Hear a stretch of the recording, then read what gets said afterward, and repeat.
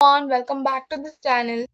So in today's tutorial, we will fix the issue of this experience is not available on your device on Roblox.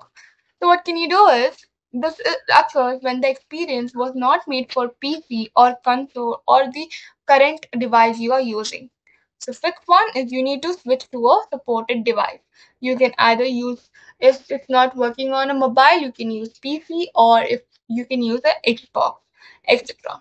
The next fix is you can contact the developer, that is contact the uh, Roblox support. Here you can raise a ticket, enter your username, your first name, parent guide, a parent email address, the issue you're having if you're having issue on pc macbook chromebook select either of it. And type of help category select developer exchange program. In help subcategory select how to submit a DevEx request. Here you can explain your issue briefly explain that you want to change the plan of your uh, change the plan or to enable the mobile support or the pc support explain it and then click on continue.